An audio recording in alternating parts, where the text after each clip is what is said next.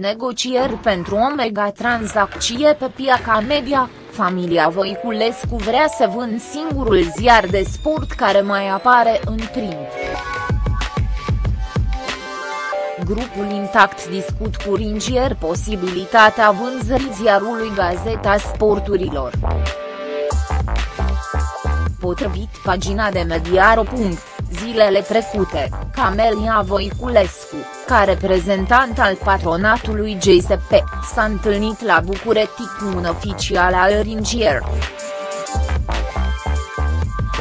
Ringier a fost reprezentat la întâlnirea cu Camelia Voiculescu de Robin Ling, 38 de ani, nepotul lui Michael Ringier, membru în boardul Ringier din Elveia.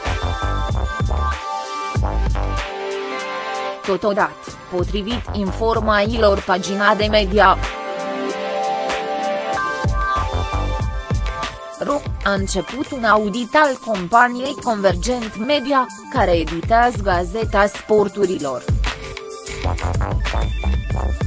Ringierii Intact au mai avut discuții legate de preluarea GSPI în 2013, dar fără rezultate.